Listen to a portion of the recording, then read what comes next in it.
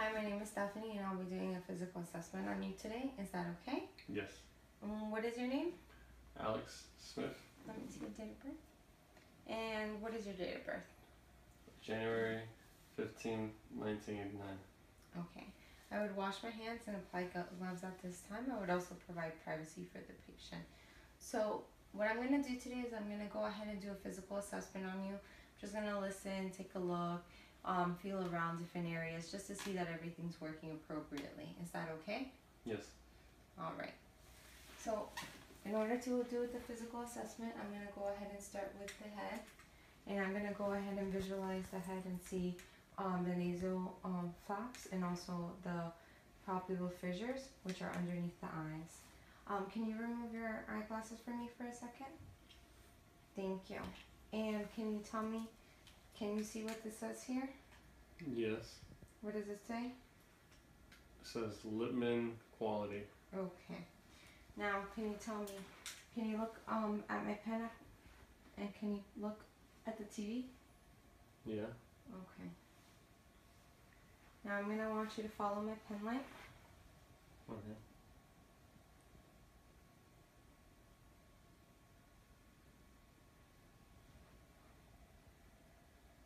Good. Keep following without moving your head. Good. Okay. I'm gonna go ahead and look at your eyes. So you're just gonna be looking at me, and I'm gonna look inside your pupil.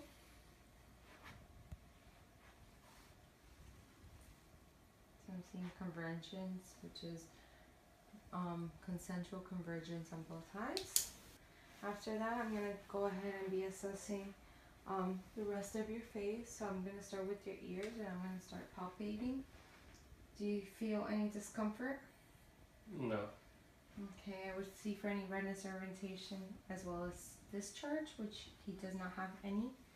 Now I would go ahead and put the pin up and check the ear.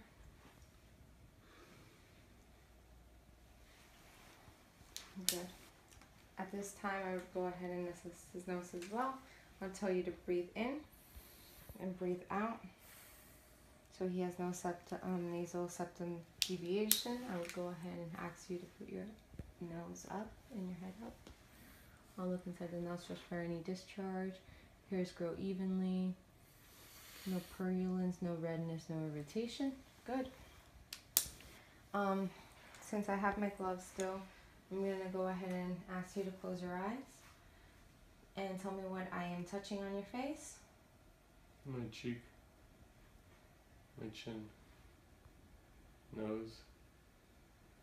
My right cheek. Okay, good. So I'm gonna ask you to open your eyes again.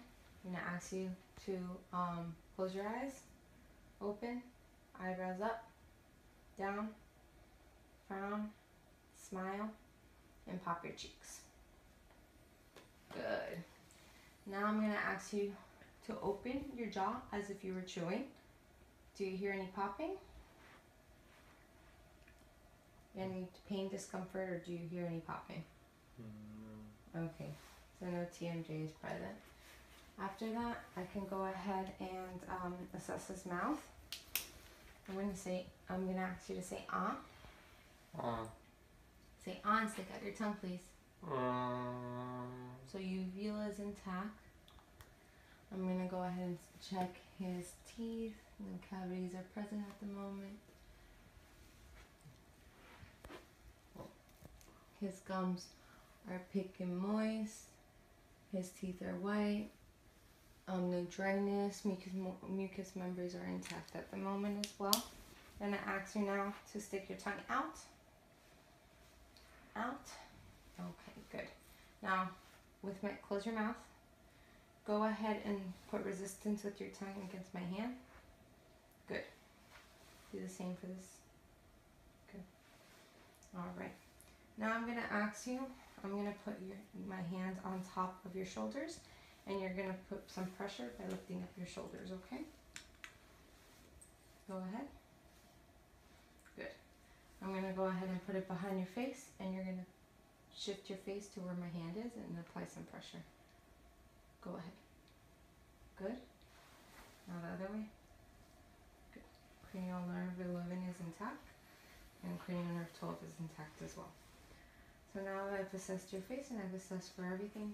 If, if you can just remove your hat, I'll assess your head. So I'm gonna assess the hair, hair distribution. I'm gonna see that it grows evenly. At this time, I would have other gloves apply. Um, I can see that he does have some alopecia here in the back. The hair is evenly distributed, a little thinning. No pediculosis is present. Um, no bumps, lumps, or bruises are present either. You can put your hat back on. Thank you.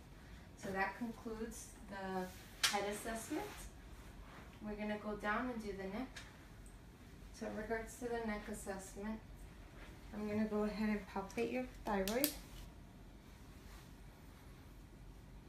Starting with the inner chains, I would do the posterior um, thyroid gland and go down. Feeling for any chains that are present. No chains are present. Good. Do you feel any swelling or inflammation? No. No? Any discomfort when you swallow? No. Okay. Now I'm gonna go ahead and look at your throat. I'm gonna see that your throat is midline and I'm gonna ask you to swallow. Swallow is intact.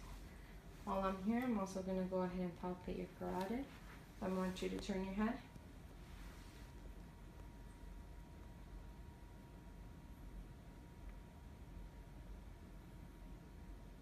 Good.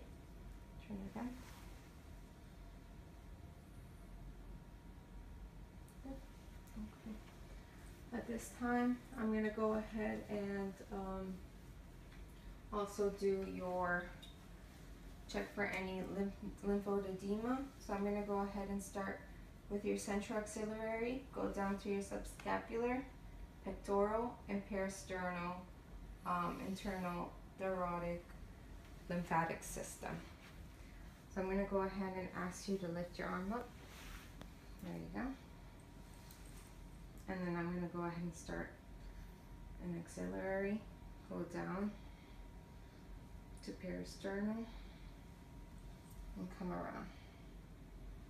There's no inflammation nor thyroid present. I'm gonna ask you to just hand me your arm here and just the same thing. Peel at the back. Good. You can put your arm down. I want to go ahead and listen for a bruit. So I'm gonna um, ask you if you can turn your head to one side. When you do so, I'm gonna tell you when I say so, you're gonna puff your cheeks and hold your breath to the side so I can listen. Okay?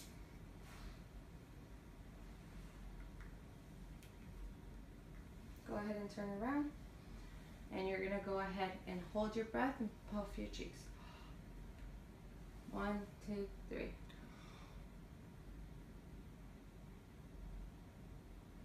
Good. Breathe deeply. Bruit indicated. Let me listen to the other side. So same thing here. You're gonna hold your breath and puff your cheeks. One, two, three.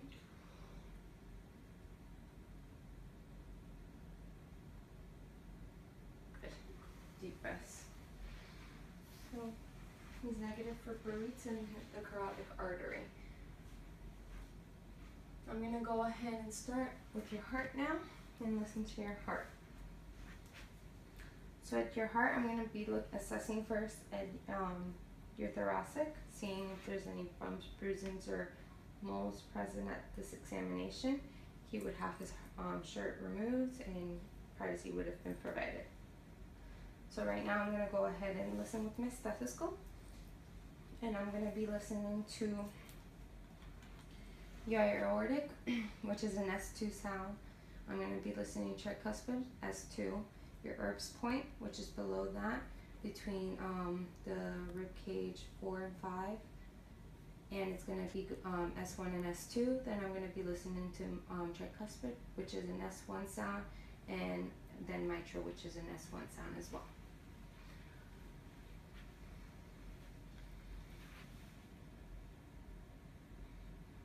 Listening to aortic,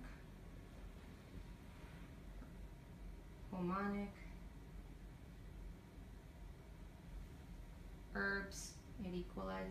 S1, S2, lub dub, tricuspid. S1 is more powerful, and mitral as well, which is also an apical. At this time, I can take your apical pulse and see how many heartbeats per minute. Good. After listening to the heart, I can go ahead and palpate his um, his arteries, and also I can go ahead and um, assess his skin.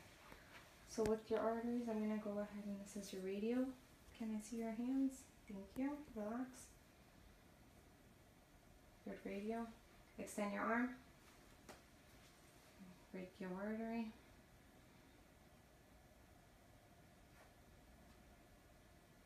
Brachial plus two on both sides. Radial plus two. Extend your arm. Brachial plus two. I'm gonna ask you if I can remove your um yourself, just so I can see this the top of your foot. You don't have to remove it completely. That's fine. Okay. So at this time, I would go ahead and listen. Um, for dorsalis pedis plus two and post tibial. Relax your foot in the bottom. Good. And I would have to assess the next foot as well. I'd do the same thing. You don't have to remove it. Okay. So it would be plus two, dorsalis pedis, and post-tibial. Plus two as well. While I'm here, I can go ahead and check. I'm going to remove it. For cap refill, which is less than three seconds, which is brisk, good circulation, I'm going to ask you to wiggle your toes. Wiggle your toes. And I'm going to go ahead and ask if you can feel this. Yeah. Okay. So CMS is intact. And um, cap refill is less than three seconds brisk.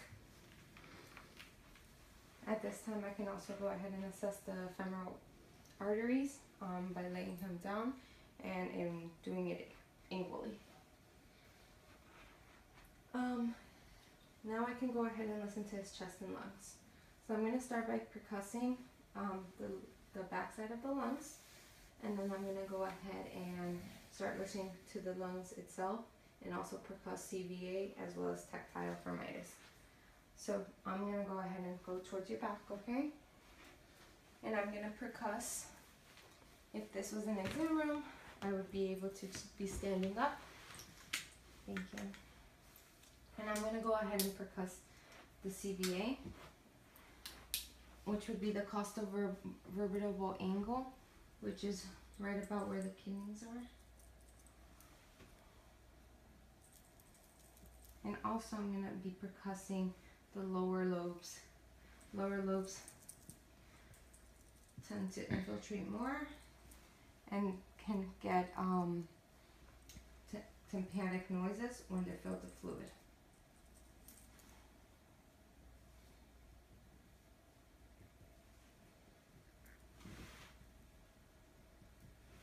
At this time, I'm going to ask you, um, I'm going to put my